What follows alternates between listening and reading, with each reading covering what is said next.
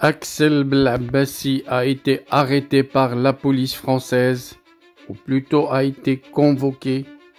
Axel Blabbassi a été libéré. Que s'est-il passé avec la police française?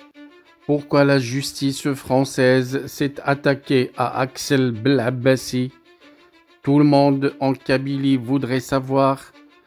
Tout le monde voudrait savoir pourquoi c'est Axel Blabbassi qui a été la cible d'attaque des colons algériens tels qu'ils sont nommés par tous les Kabyles.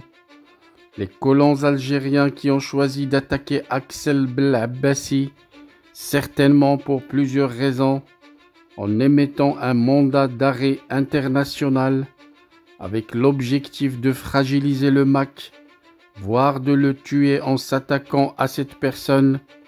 Vous allez suivre sur Akhbar al-Bled Axel Blabbassi va tout expliquer. Mais figurez-vous, avant d'expliquer ce qui s'est passé, qu'est-ce qu'il a fait, qu'a-t-il fait Axel Blabbassi C'est ce qu'on va découvrir dans la vidéo en direct que vous allez suivre selon le programme de la matinée. Restez branchés sur Akhbar al-Bled pour tout suivre. Mais avant cela, rappelant que depuis plusieurs mois, Axel Blabbassi a été présenté par les Algériens et par les médias comme le numéro 2 du MAC, comme un des grands responsables du MAC et comme le porte-parole du MAC.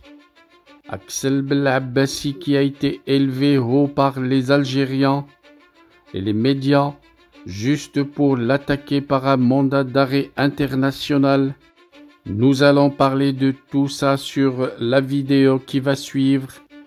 N'oubliez pas de cliquer sur j'aime pour toutes les vidéos de la chaîne Akhbar al-Bled de Hassan Atlemsen. N'oubliez pas d'émettre votre avis et de laisser un message pour enrichir le débat.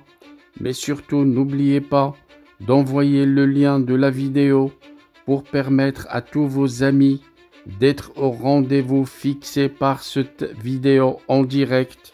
Rendez-vous donc avec les vidéos programmées pour vous sur Akhbar al-Bled de Hassan Atlemsan.